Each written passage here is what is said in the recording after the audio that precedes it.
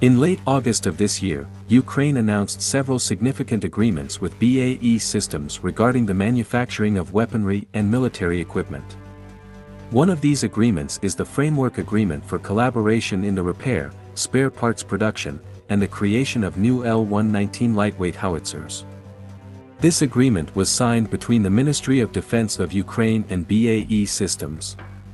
The Financial Times published an article providing some insights into this deal, based on statements made by Charles Woodburn, the CEO of BAE Systems.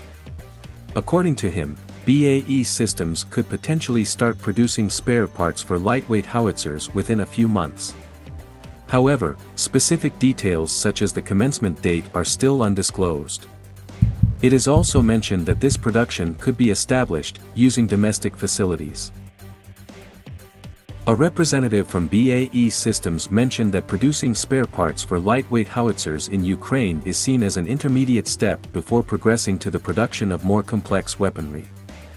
Nevertheless, he emphasized that such decisions would require time. It's worth noting that in late May, it was announced that BAE Systems would be establishing an office in Ukraine and had plans to set up facilities for repairing and manufacturing weaponry and military equipment. Ukrainian military forces have been utilizing L-119 105mm lightweight howitzers on the battlefield since the summer of 2022, and these British howitzers are considered as a potential replacement for the Soviet D-30.